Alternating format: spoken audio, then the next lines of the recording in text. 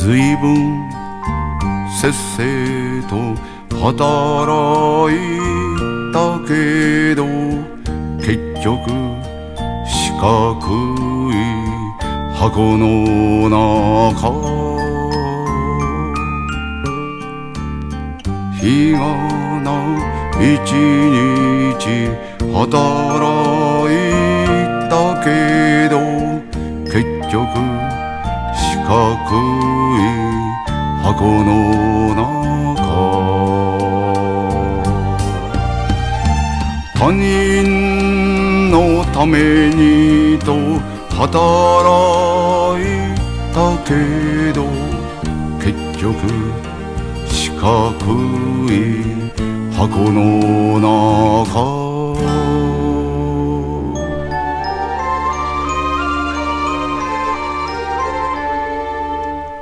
自分の道だと働いたけど結局四角い箱の中。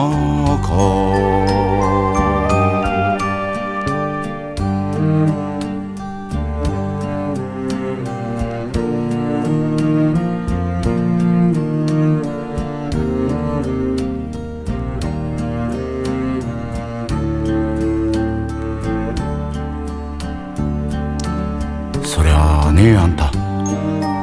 甘いんじゃないかな。世の中そう楽なことばっかりありゃしませんよ。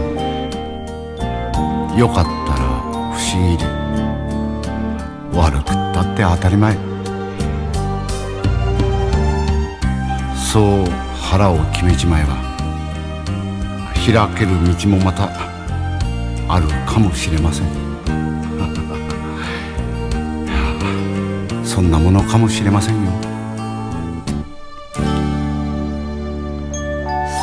う。時を待つっていうことも大事なことなんじゃないかな。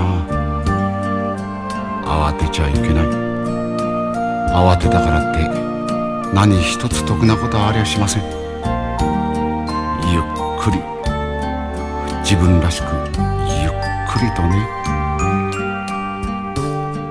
もう一度始めるつもりでいるんだ。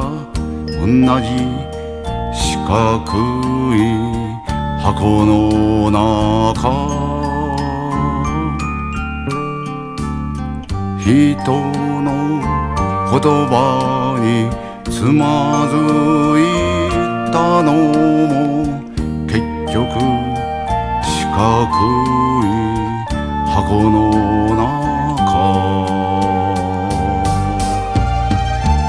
明日があるから生きてもいけるさそうだろう四角い箱の中